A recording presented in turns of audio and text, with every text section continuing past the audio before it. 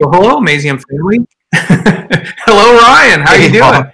Uh, this Hi. is Paul Fulton. I'm doing great. Here at Scott. And uh, Ryan is um, he's one of the co-founders of Wonderful Idea Company out in the Bay Area. He was a um, gosh, it's been a couple years since you were here. You were a maker residence for summer, and then um, you came back as someone to help us out with our Tinkerfest and help people understand linkages and and crazy contraptions and curiosity and all those wonderful things that, that you're so good at putting together as a master tinkerer and uh, uh, idea generator. So, uh, what have you been up to? well, it's been obviously a crazy um, few months uh, for me, and it's great to talk with you. I think, yeah, the last time I was at a museum was in 2018. Um, yeah, and so I have been living a life, traveling to uh, museums all over the world, uh, doing workshops, working with schools. And actually, I was in the UK working with the Cabaret Mechanical Theatre, the same group that uh, put on the traveling show at the museum, uh, right at the beginning of March. Right when everything shut down for COVID 19. So I was kind of right in the middle of that um, you know travel of trying to get back into the US um, right at the time when everything was was closing down. Um, which wow. so, anyways, so I've I've uh, I guess for the past three months I've been uh, living a much uh, less uh, worldly life, and I've been uh, mostly in Los Angeles doing um, lots of online tinkering programs. Well, so online tinkering programs, how that how's that going? We've I mean at the Amazeum we've we've, we've shifted to online delivery as well with the Amazeum U, and um, it's been you know, quite a, not a surprise, but it's just been pleasant to know that people still want to stay connected, even though, you know, you, you think about the things that we do and the business we're in and how we're trying to get people to come together to make and tinker and get their hands on things and be in close proximity and to have to make that shift to you know essentially doing what we're doing right here is having a conversation you know six yeah. five thousand miles apart and you know trying to carry that hands-on that same maker mindset into that digital realm has been i think it's been something that's been uh, surprisingly fun but also very challenging. What have you learned? Yeah so i mean for me too i've been doing um, after school programs and now some summer camps both with uh, wonderful idea co. and also i've been partnering with an uh, organization in the bay area called tinkering school uh, to do mm-hmm. some programs, uh, summer camps, and after school programs.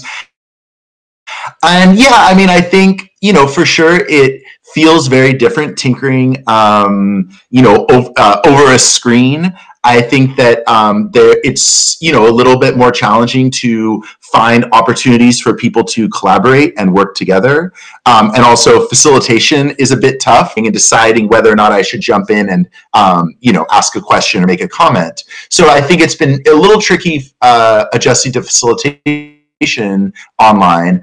But I think there are also some kind of cool advantages about doing these virtual tinkering programs. Uh, one of the things I really like about it is that at the end of the after school program or summer camp, people don't have to stop making and tinkering. Um, mm-hmm. Either we're doing programs where they're using household materials or we're giving them a kit.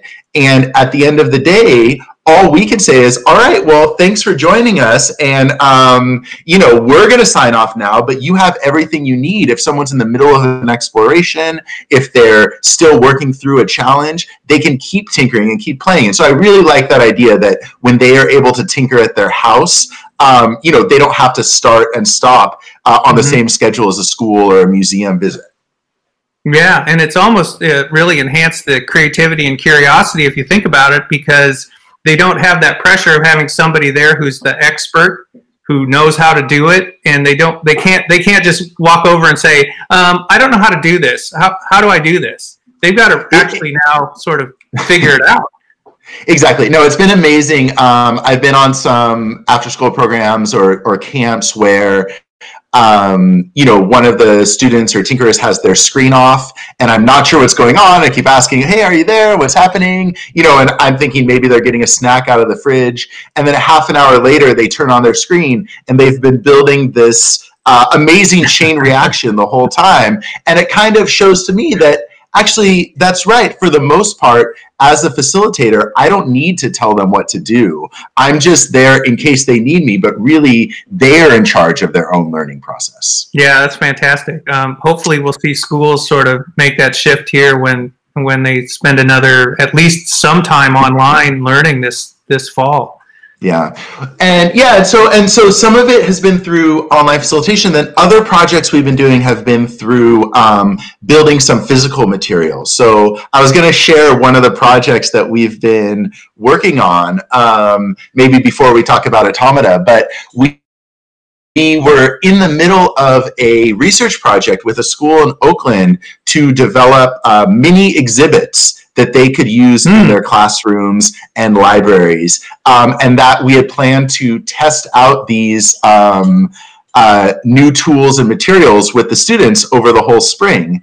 So once school shut down, we actually completely shifted gears and instead of mini exhibits for schools, we started to change for mini exhibits for home or to work around the kitchen table. And just one fun example that we were experimenting with is this um, have you ever seen this before? It's this. Um, it's a cardboard mm-hmm. that's actually a mirror. Yes. So it's really cool. It's like a a really beautiful mirror, and it also. Um, you know, uh, is really easy to cut just with scissors or you know any material. So you can cut it, you can make it whatever shape you want really easily. And so we just combine that material in a triangle and uh, toilet paper tube, since we've all been hoarding toilet paper this whole time. Um, and then when you put it together, um, you know, it makes this really awesome DIY kaleidoscope, and you can even use it in Zoom calls. If I put this over my uh, Zoom camera, yeah, so you can just kind of really uh, experiment with different ways of making kaleidoscopic images.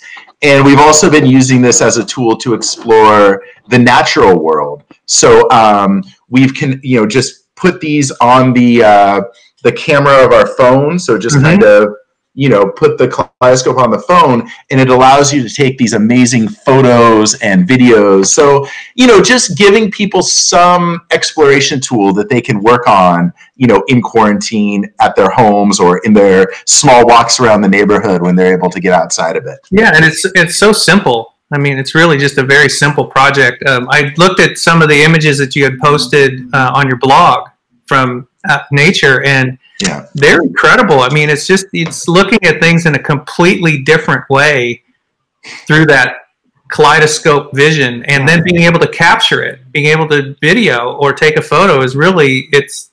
I, I mean, it's just so simple, but yet there's so much creativity and so much of someone's personality being able to put into mm. a simple project like that that it's it's just it's amazing well and and i definitely will say that that is an area of collaboration that is um, part of this new tinkering online or you know the, the world that we've been in for the past three months i've been able to do a couple projects with my former colleagues at the tinkering studio at the exploratorium um, where they have some simple prompts like for example take a photo of a light and shadow um, image, but then post it online and allow other people to draw on the shadow, remix it, turn it into something new. So I think that we do have these tools with us, you know, cell phones and, um, you know, cameras and there are ways that we can um, inspire each other to work and to tinker and to uh, build on each other's projects. So i was really inspired by the shadow play explorations. We really looked to try and give them activities with things they could do around the house. Wanted a really low entry point uh, just so you know and, and now they can do them with their family yeah, I've even been on some um, professional development workshops or calls with teachers or um, conferences. And just because the people are at home, their kids come on the screen and they start working and tinkering together. And I find that to be such an interesting way of learning where it's not just. Um, you know the kids are learning and the parents are watching but it really creates opportunities for the whole family to learn and play uh, together yeah yeah it's it's been fantastic so uh, cranky contraptions are coming up is one of our Amazeum u activities and uh, you really helped us take our cranky contraption game to a whole new level we, we, we just leveled up after you come to visit us so um, what what advice do you have for us to try and do cranky contraptions as yeah. a, a, digital a digital online experience? Well, I I really think um, automata, so making these moving mechanical sculptures that we call automata, or the you know wire and wood cranky contraptions version of that. Um, it's really one of the best activities I think for tinkering at home because you really don't need that much, and there's so many ways that you can make um, cranks and gears and um, uh, different kinds of mechanisms and stories. Um, I'm really inspired by an artist, um, I think, who probably had some pieces in the show at Amazeum called Keith Newstead. Mm-hmm. And um, Keith has done workshops uh, specifically around junk automata. So not only are you building a mechanism, but you're also looking at all the recycled materials, the uh, food packaging, all the things that you have already around your house, and you're looking at them and imagining what they could be. So I think that um, as you're thinking about automata, taking some inspiration from trash automata mm. or junk automata, you know, it really allows you to think about these everyday materials in a brand new way. Yeah, and and I and, you know we're all getting a bunch of packages delivered to our. Oh, exactly. Yeah. Well, I mean that's what I was saying. We have these toilet paper tubes, right? yeah, I come yeah, I, I was going to show you. Uh, maybe at the end, I'll show you my tinkering setup here. But I've definitely been collecting the um, packages and uh, cardboard boxes, all the Amazon deliveries, everything like that.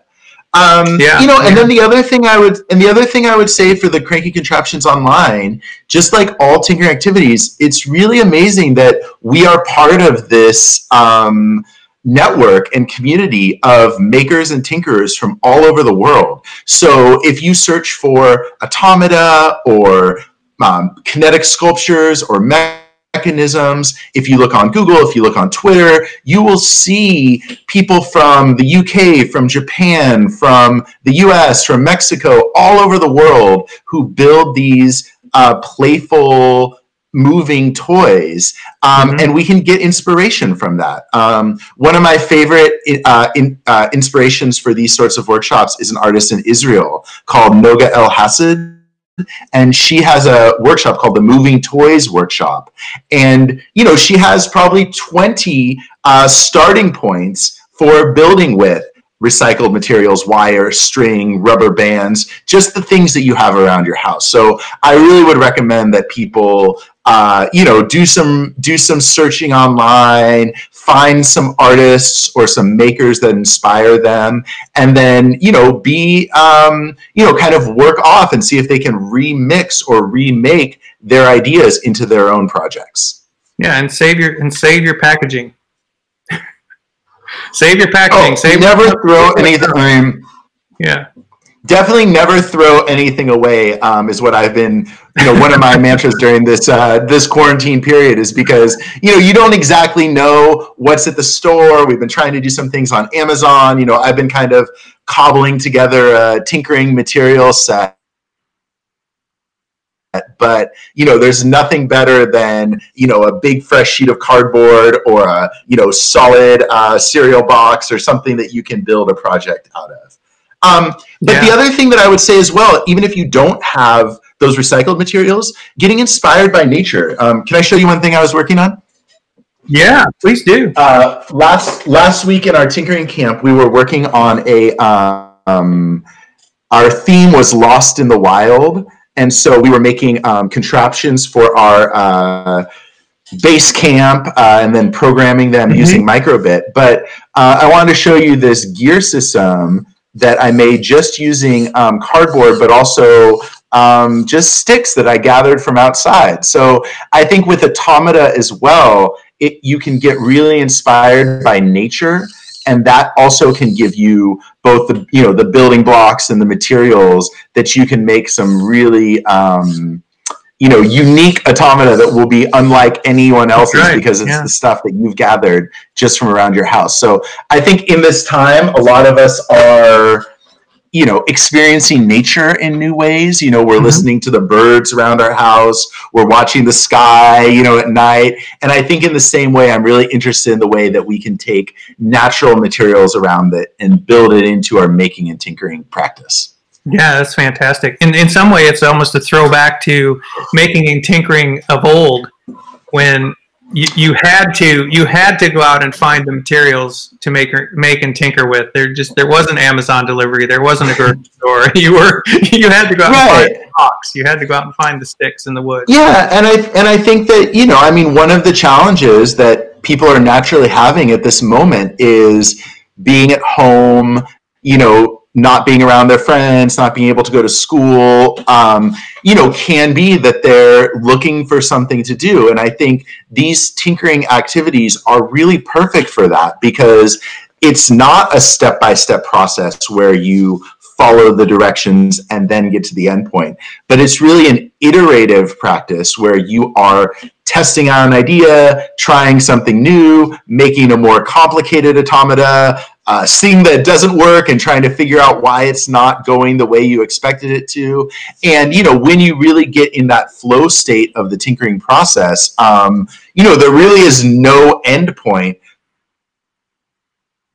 for how deep you can go, um, you know, exploring automata uh, or cranky contraptions for that for that matter. Right. Well, Ryan, you know, it's been great catching up with you again. Uh, we really enjoyed having you come to the Amazeum and invite you to come back anytime that you want. Um, we, yeah, I, I can't wait till we can travel and um, come back and visit my friends in Arkansas. Um, in the Yeah. meantime, I have my tinkering supplies over here, so I'm going to be continuing to um, build new things, and I'm going to continue to uh, post the experience experiments that I've been working on, both on our Twitter account and also at our website, the wonderful idea dot or wonderfulidea.co. Uh, we're still always posting new ideas on our blog. Um, you know, the latest things that we're uh, exploring and and trying out. Oh, well, fantastic. We will include a link to that, and uh, we will definitely hunt down some of those resources that you mentioned when we get to uh, Yeah. automata and cranky contraptions so that uh, people can uh, be inspired by creatives throughout the world. Yeah, I think that's what it's all about. You know, even though we're by ourselves at home, I think we can be connected to this huge community of makers and tinkerers, and I'm super happy to be part of the Amazeum family of makers and tinkerers. Well, we're, we're always happy to have you. So uh, it's been great catching up with you, and uh, we'll we'll talk again soon.